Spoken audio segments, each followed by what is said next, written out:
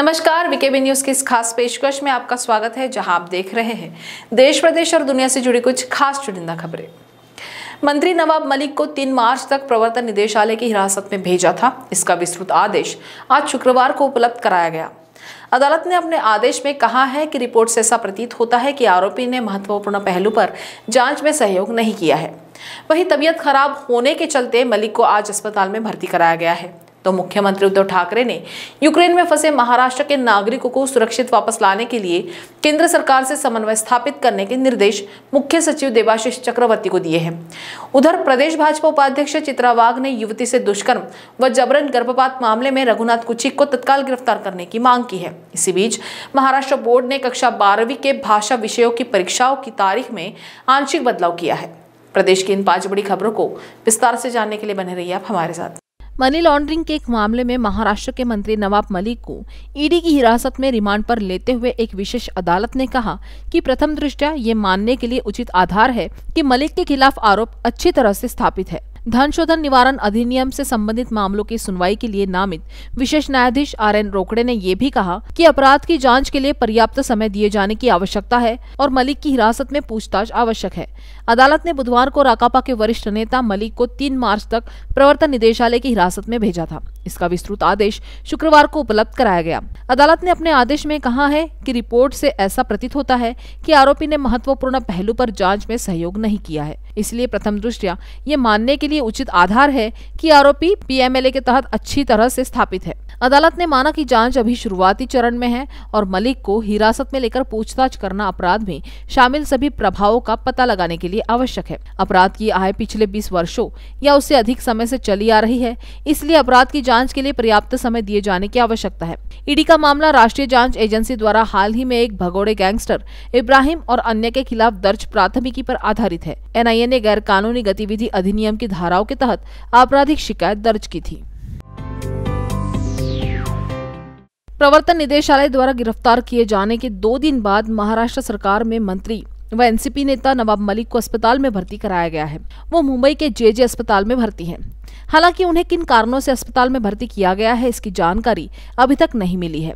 उन पर दाऊद इब्राहिम के करीबी से संपत्ति खरीदने का आरोप है। प्रवर्तन निदेशालय ने मलिक की गिरफ्तारी के बाद पूरी कहानी का पर्दाफाश किया था। ईडी ने कोर्ट में बताया था कि मंत्री नवाब मलिक ने कथित रूप से मुनीरा प्लम्बर से 300 करोड़ रुपए का प्लॉट कुछ लाख रुपए में एक कंपनी के ज़रिए हड़पा था। इस कंपनी का नाम सॉलिड्स इन्वेस्टमेंट प्राइवेट लिमिटेड है और कंपनी का मालिक मलिक परिवार है।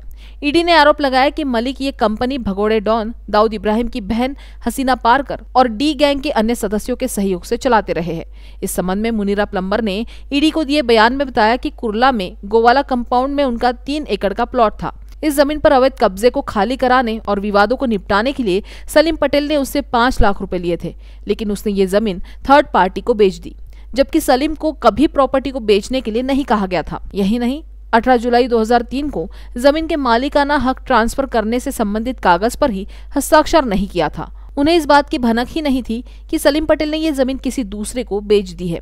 वही इस ज़मीन से जुड़े कागजातों को खंगालने के बाद ईडी को पता चला कि इसके पीछे सरदार शाहवाली खान है, जो उन्नीस सौ तिरानवे के मुंबई बम धमाके का आरोपी है। मुख्यमंत्री उद्धव ठाकरे ने यूक्रेन में फंसे महाराष्ट्र के नागरिकों को सुरक्षित वापस लाने के लिए केंद्र सरकार से समन्वय स्थापित करने के निर्देश मुख्य सचिव देबाशीष चक्रवर्ती को दिए हैं। रूस द्वारा यूक्रेन पर हमला किए जाने के बाद मुख्यमंत्री ने महाराष्ट्र से उद्योग, शिक्षा, व्यवसाय के लिए यूक्रेन में गए नागरिकों की सुरक्षा को लेकर चिंता जताई है। मुख्यमंत्री ने कहा कि यूक्रेन में युद्ध की परिस्थिति को देखते हुए वहाँ पर फंसे महाराष्ट्र के नागरिकों को सुरक्षित वापस लाने के लिए विदेश मंत्रालय से व्यवस्थित रूप से समन्वय करे। ठाकरे ने प्रशासन को यूक्रेन में फंसे विद्यार्थियों को वापस लाने के लिए प्राथमिकता से केंद्र सरकार से बातचीत करने का आदेश दिया है। इसके पहले राज्य के उच्च व तकनीकी शिक्षा मंत्री उदय सामंत ने यूक्रेन में फंसे महाराष्ट्र के 1200 विद्यार्थियों की घर वापसी के लिए प्रधानमंत्री नरेंद्र मोदी को पत्र लिखा था। इसी बीच कांग्रेस पार्टी ने भी यूक्रेन पर रूसी हमले के मामले में सरकार की आलोचना की है। सांसद व लेखक शशि थरूर ने कहा है कि भारत को रूस और अमेरिका के बीच मध्यस्थता करनी चाहिए। इसके साथ ही यूक्रेन में फंसे भारतीय छात्रों को वहाँ से निकालने की मांग करते हुए इस मुद्दे पर सरकार की आलोचना की है। युद्ध के दूसरे दिन कई छात्रों ने अपने घर वालों को फ़ोन पर ताज़ा हालात की जानकारी दी और कहा कि यहाँ की स्थिति बेहद खराब है।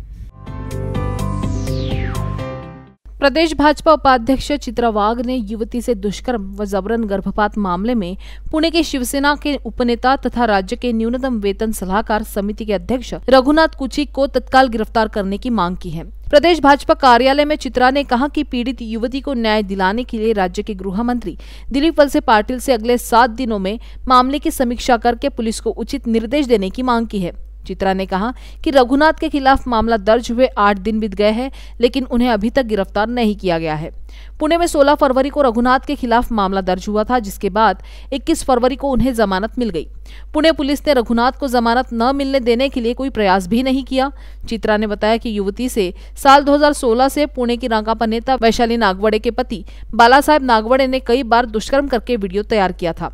इसके बाद इसी वीडियो के आधार पर यशवंतराव चौहान प्रतिष्ठान के दत्ता सराफ ने युवती को ब्लैकमेल कर अत्याचार करने लगे। बाद में पीड़िता ने बाला साहब और बाला सराफ के अत्याचार की जानकारी शिवसेना नेता रघुनाथ कुचिक को दी। तो रघुनाथ ने युवती को न्याय दिलाने का भरोसा दिलाया। बाद में रघुनाथ ने भी युवती से संबंध बनाए, जिससे युवती गर्भवती हो गई। फिर रघुनाथ ने ही युवती का जबरन गर्भपात भी कराया। महाराष्ट्र बोर्ड ने कक्षा बारहवीं के भाषा विषयों की परीक्षाओं की तारीख में आंशिक बदलाव किया है। इसके तहत पाँच और सात मार्च को होने वाली भाषा विषय की परीक्षाएँ अब पाँच और सात अप्रैल को आयोजित होगी। राज्य की स्कूली शिक्षा मंत्री वर्षा गायकवाड़ ने ये जानकारी दी है। महाराष्ट्र बोर्ड के अनुसार पाँच मार्च, शनिवार के दिन प्रथम सत्र में होने वाली हिंदी और द्वितीय सत्र में होने वाली जर्मन, जापानी, चीनी और पर्शियन विषय की परीक्षा अब पाँच अप्रैल मंगलवार को आयोजित होगी। जबकि 7 मार्च सोमवार के दिन प्रथम सत्र में होने वाली मराठी, गुजराती, पंजाबी, बंगाली, कन्नड़, सिंधी, मलयालम, तमिल, तेलुगु विषय और द्वितीय सत्र में होने वाली उर्दू, फ्रेंच, स्पेनिश और पाली विषय की परीक्षा अब सात अप्रैल गुरुवार को आयोजित होगी। महाराष्ट्र राज्य माध्यमिक व उच्च माध्यमिक शिक्षा बोर्ड की कक्षा बारहवीं की परीक्षा 4 मार्च से शुरू होगी। महाराष्ट्र बोर्ड ने स्पष्ट किया है कि भाषा विषय के अलावा बाकी विषयों की परीक्षाएँ घोषित टाइम टेबल के अनुसार ही होगी। वहीं महाराष्ट्र बोर्ड की कक्षा दसवीं की परीक्षा के समय सरिणी में कोई बदलाव नहीं किया गया है। हाल ही में पुणे नासिक महामार्ग पर प्रश्न पत्र लेकर आ रहे ट्रक में आग लगने से काफ़ी प्रश्न पत्र जल गए थे, जबकि कुछ प्रश्न पत्र सड़क पर ही बिखर गए थे। इसलिए प्रश्न पत्र लीक होने की संभावना को देखते हुए भाषा विषयों की परीक्षा की तारीखों में बदलाव किया गया है। चंडीगढ़ बिजली विभाग के कर्मचारियों ने अपनी मांगों पर हठधर्मिता दिखाते हुए पूरे शहर को अंधेरे में डुबो दिया था। अब इन कर्मचारियों को नौकरी से निकालने का काम शुरू हो गया है। तो मध्य प्रदेश के इंदौर स्थित बाणगंगा इलाके में सनसनीखेज हत्याकांड का खुलासा हुआ है। दस दिन से लापता ड्राइवर की लाश उसी के घर में खुदाई के बाद बरामद की गई है। वहीं जम्मू कश्मीर में उपराज्यपाल मनोज सिन्हा, बाल बाल बच्चे। उनकी कार वाराणसी में दुर्घटनाग्रस्त हो गई थी। उधर सुप्रीम कोर्ट ने केंद्र सरकार से बिटकॉइन पर अपना रुख स्पष्ट करने को कहा है कि ये वैध है या अवैध है। इसी बीच प्रधानमंत्री नरेंद्र मोदी ने बजट वेबिनार को संबोधित करते हुए कहा कि बीते कुछ सालों से भारत अपने रक्षा क्षेत्र में जिस आत्मनिर्भरता पर बल दे रहा है, उसका कमिटमेंट आपको इस साल के बजट में भी दिखेगा। देश की इन पाँच बड़ी खबरों को विस्तार से जानने के लिए बने रहिए आप हमारे साथ। चंडीगढ़ बिजली विभाग के कर्मचारियों ने अपनी मांगों पर हठधर्मिता दिखाते हुए पूरे शहर को अंधेरे में डुबो दिया था। करीब इकतालीस घंटे तक शहर में ब्लैकआउट रहा। दो बड़े हॉस्पिटल की बिजली तक काट दी गई। कई अन्य जगहों पर बिजली गुल करने में भी कुछ कर्मचारियों की भूमिका रही। अब इन कर्मचारियों को नौकरी से निकालना इंजीनियरिंग डिपार्टमेंट ने शुरू कर दिया है। ऐसे सभी कर्मचारियों को अब नौकरी जाने और कार्रवाई का डर सताने लगा है। सभी कर्मचारी अब बचने के रास्ते ढूंढ रहे हैं। अब ऐसे आउटसोर्स पर लगे कर्मचारियों की पहचान कर उन्हें बर्खास्त किया जाएगा, जबकि रेगुलर कर्मचारियों पर अनुशासनहीनता और एस्मा के तहत कार्रवाई की जाएगी। बताया जा रहा है कि इंजीनियरिंग डिपार्टमेंट ने 150 से अधिक आउटसोर्स कर्मचारियों को निकालने की तैयारी कर ली है। इनको कभी भी बाहर का रास्ता दिखाया जा सकता है। डिपार्टमेंट में 400 आउटसोर्स कर्मचारी है। सबसे पहले इन्हीं पर एक्शन हो रही है। इसके अलावा रेगुलर कर्मचारियों पर भी एस्मा के तहत कार्रवाई होगी। पंजाब एंड हरियाणा हाईकोर्ट के बाद चंडीगढ़ के प्रशासक बनवारी लाल पुरोहित ने भी प्रशासन के अफसरों को फटकार लगाई थी। बता दें कि मामले की पूरी जाँच के लिए एक कमेटी का गठन किया गया है। स्वतंत्र एक्सपर्ट को इस कमेटी में शामिल किया जाएगा। हड़ताल के दौरान किस तरह का नुकसान इलेक्ट्रिकल सिस्टम को हुआ, इसकी रिपोर्ट यह कमेटी पंद्रह दिनों में प्रशासन को सौंपेगी। इंदौर के बाणगंगा इलाके में सनसनीखेज हत्याकांड का खुलासा हुआ है। दस दिन से लापता ड्राइवर की लाश उसी के घर में खुदाई के बाद बरामद की गई है। जानकारी के अनुसार दस दिन से बाणगंगा इलाके के उमरी खेड़ा के पास कांकड़ में रहने वाले बबलू का कुछ पता नहीं था। बबलू ड्राइवरी करता था। उसकी पत्नी सुनीता उर्फ़ सोनू ने 14 फरवरी को पति की गुमशुदगी का मामला भी दर्ज कराया था। बताया था कि 7 फरवरी से उसका पति घर नहीं लौटा है। पुलिस को जाँच में पता चला कि बबलू आए दिन पत्नी सोनू के साथ मारपीट करता था। सोनू की रिजवान नाम के युवक के साथ दोस्ती थी। दोनों ने बबलू को रास्ते से हटाने का प्लान बनाया। उसी के अनुसार पत्नी ने दाल बाटी बनाई और उसमें दोनों ने जहरीला पदार्थ डालकर बबलू को खिला दिया। बबलू की लाश को छुपाने के लिए पहले बबलू के हाथ पैर को अलग अलग काटा और धड़ को घर में खुदाई कर दफना दिया। पूरे मामले में रिजवान और उसके रिश्तेदार भैयू की मदद भी ली गई। बेटे से पूछताछ की गई तो पता चला कि सोनू ने रिजवान के साथ मिलकर बबलू की हत्या की थी। हत्या के बाद लाश को टुकड़ों टुकड़ों में काटकर अलग अलग जगहों पर फेंक दिया था और बचे हुए हिस्से घर में खोद कर गाड़ दिए थे। पुलिस ने खुदाई के बाद लाश बरामद कर ली है। सोनू को गिरफ़्तार किया गया है। बेटे प्रशांत को भी हिरासत में लिया गया है क्योंकि उसने हत्या के मामले को छिपाकर रखा था। जम्मू कश्मीर के उपराज्यपाल मनोज सिन्हा की कार शुक्रवार सुबह वाराणसी में दुर्घटनाग्रस्त हो गई। सहयोग अच्छा रहा कि हादसे में उपराज्यपाल को कोई चोट नहीं पहुँची। उपराज्यपाल मनोज सिन्हा वाराणसी से अपने गृहनगर गाजीपुर जा रहे थे। राजघाट पुल के ढलान पर लगाए गए लोहे के पिलर से उनकी कार की टक्कर हो गई। लोहे के पिलर के बीच से वाहन निकालने के चक्कर में गाड़ी का बाया हिस्सा क्षतिग्रस्त हो गया। कार का एक चक्का पंक्चर भी हो गया। पड़ाव पिकेट पर तैनात पुलिसकर्मी तुरंत मौके पर पहुँच गए। मौके पर सीईओ अनिल राय, मुगलसराय इंस्पेक्टर ब्रजेश तिवारी भी पहुँच गए। उपराज्यपाल को दूसरी गाड़ी में बैठाकर गंतव्य की ओर रवाना किया गया। इस दौरान थोड़ी देर के लिए अफरा तफरी की स्थिति रही। रामनगर थाना प्रभारी निरीक्षक अश्विनी पांडे ने बताया कि हादसे में किसी को चोट नहीं लगी है। उपराज्यपाल मनोज सिन्हा शुक्रवार को गाजीपुर के जमानिया मोहम्मदाबाद समेत अलग अलग विधानसभा क्षेत्रों में निर्धारित कार्यक्रमों में शामिल होंगे। गहमर के कामाख्या धाम मंदिर में पूजा अर्चना करेंगे तो क्षेत्र के प्रबुद्ध जनों से मुलाकात करेंगे। इसके अलावा रेवतीपुर में माता भवानी के मंदिर में भी पूजा अर्चना में शामिल होंगे। सुप्रीम कोर्ट ने केंद्र सरकार से आज कहा कि वह बिटकॉइन पर अपना रुख स्पष्ट करे कि ये वैध है या अवैध है। मौजूदा समय में देश में क्रिप्टो करेंसी के इस्तेमाल पर कोई प्रतिबंध नहीं है और न ही इनका कोई नियमन है। जस्टिस डीवाई चंद्रचूड़ और जस्टिस सूर्यकांत की दो सदस्यीय खंडपीठ ने अतिरिक्त सॉलिसिटर जनरल ऐश्वर्या भाटी से कहा कि आपको अपना रुख स्पष्ट करना होगा। खंडपीठ केंद्र सरकार के खिलाफ अजय भारद्वाज द्वारा दायर याचिका पर सुनवाई कर रही थी। वकील शोएब आलम ने भारद्वाज की मंजूरी की गई जमानत याचिका खारिज करने की मांग की। ऐश्वर्या भाटी ने खंडपीठ को बताया था कि ये मामला सतासी हज़ार बिटकॉइन से जुड़ा है और आरोपी जाँच में सहयोग नहीं कर रहा है और उसे कई समन भेजे गए हैं। मामले की सुनवाई कर रहे जजों ने आरोपी को जाँच अधिकारी से मुलाकात करने का निर्देश दिया और जाँच में सहयोग करने के लिए कहा। इस पर खंडपीठ ने कहा कि ये अवैध है या नहीं। खंडपीठ ने कहा कि जाँच अधिकारी आरोपी के जाँच में सहयोग करने के संबंध में स्थिति रिपोर्ट पेश करेंगे। मामले की सुनवाई अगले चार सप्ताह के लिए स्थगित कर दी गई है। खंडपीठ ने साथ ही कहा कि आरोपी के गिरफ़्तार न करने का अंतरिम आदेश अगली सुनवाई तक मान्य रहेगा। क्रिप्टो करेंसी के संदर्भ में भारतीय रिज़र्व बैंक के आदेश को मार्च 2020 में पलटा गया था। प्रधानमंत्री नरेंद्र मोदी ने बजट वेबिनार को संबोधित करते हुए कहा कि बीते कुछ सालों से भारत अपने रक्षा क्षेत्र में जिस आत्मनिर्भरता पर बल दे रहा है, उसका कमिटमेंट आपको इस साल के बजट में भी दिखेगा। गुलामी के कालखंड में भी और आज़ादी के तुरंत बाद भी हमारी डिफेंस मैन्युफैक्चरिंग की ताकत बहुत ज़्यादा थी। दूसरे विश्व युद्ध में भारत में बने हथियारों ने बड़ी भूमिका निभाई थी। बीते कुछ वर्षों में भारत अपने रक्षा क्षेत्र में जिस आत्मनिर्भरता पर बल दे रहा है, उसकी प्रतिबद्धता आपको इस साल के बजट में दिखेगा।